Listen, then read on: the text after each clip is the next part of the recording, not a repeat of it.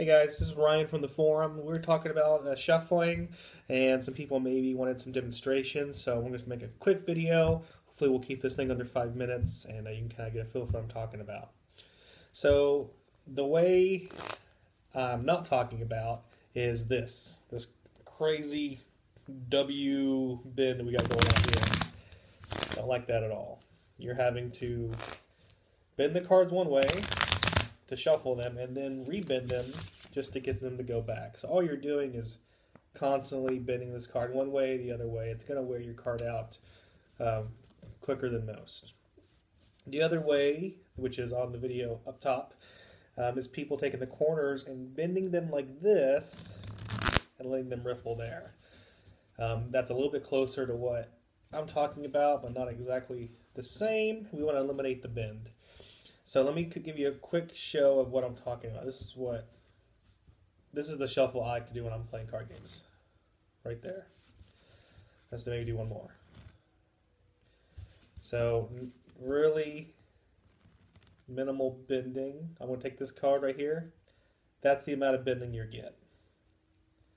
Not not with the corner bent up like that. Just a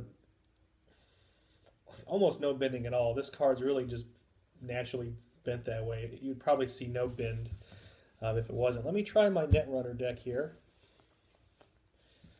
These are uh, the uh, FFG sleeves, so you know these are the these are the real thick sleeves. So let's see how this works.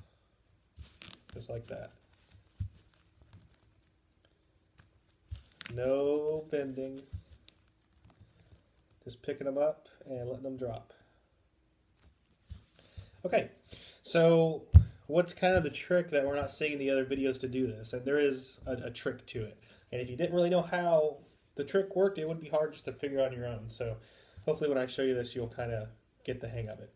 First thing you want to do is it's easier to do this at the edge of the table.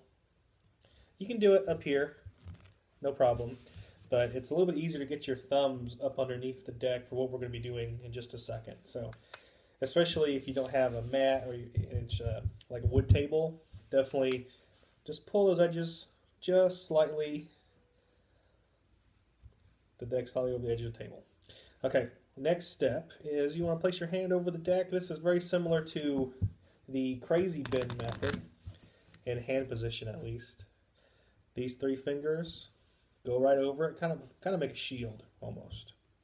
This finger can sit here on top and it can kind of help with the bending of the card. But once you get real used to it, you, you, you won't be bending. You'll really just be lifting up and then dropping the cards. And your thumb is right here along the back side. It's very similar to if you're playing Texas Hold'em and you want to look at your card, you cover it and you lift up with your thumb. See what you got. Um, but again, the bending is what we're going to eliminate. So the real trick is when your hands are over like this, you're going to have to bevel the deck. So you're going to push, kind of like that, to where you have a nice beveled deck. That is really the trick to making this work with minimal, minimal, minimal to zero bends. Um, without that curve, you're going to want to have to use the you know, bending force kind of way to let the cards flip off your thumb. With the bevel, you can pick up the deck and with a real light touch, they almost just slide off your thumb. It's a lot. I mean, you, you can do that without the bevel, but it's so much harder. And I mean, real technique, it's just so much easier to let them go with the bevel. So, get your deck ready. Hands over.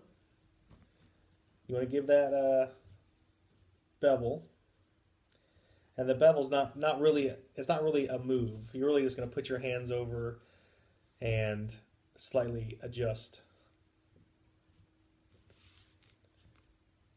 like that.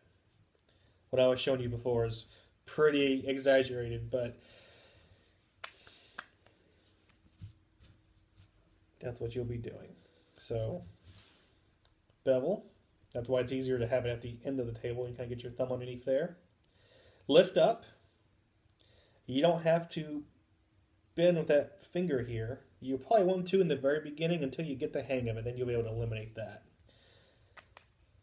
Bevel, lift, and with the corners just slightly into each other, probably more exaggerated when you first start, but just slightly into each other, you will let the cards flip off your thumb, which is, with the bevel, extremely, extremely easy.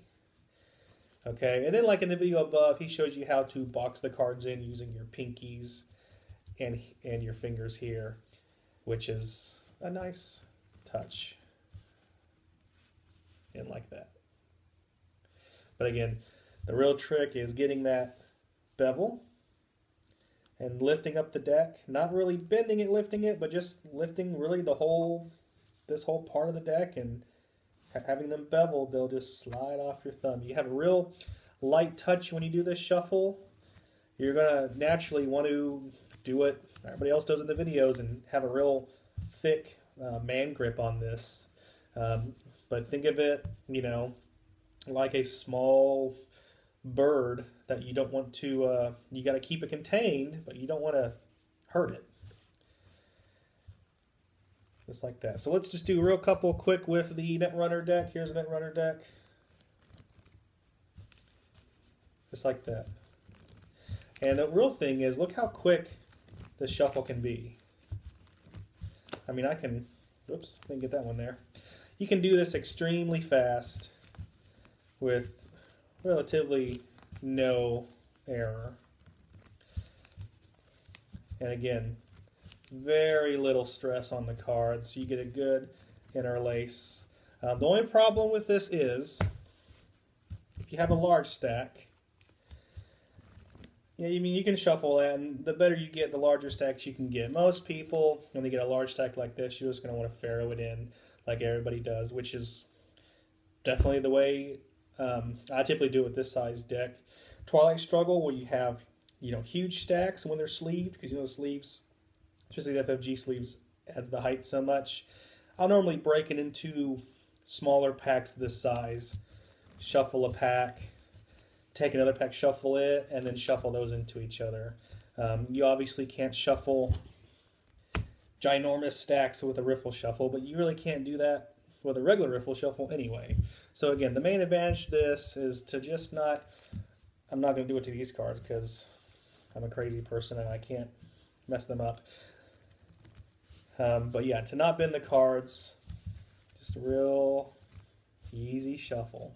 So I hope that kind of explains what I'm talking about. I hope I hope you can see how the bend and the other shuffles are, are more extreme than this. I mean, it's a small point. You know, there's no reason to freak out about it, but I, I think it's a, a so far superior way to shuffle. And I've just noticed that nobody knows how to do it because you're never taught that way. I mean, I had to learn it through magic books when I was growing up. So, I mean, I would have never came across it either. So, just trying to help share some uh, interesting tips. So, we found it interesting. If you need any more tips, feel free to just message me. Um, if you need anything specific, I can always try to make another video now that I made this one, maybe find out what I did not so good. So, um, yep, have fun. Thanks.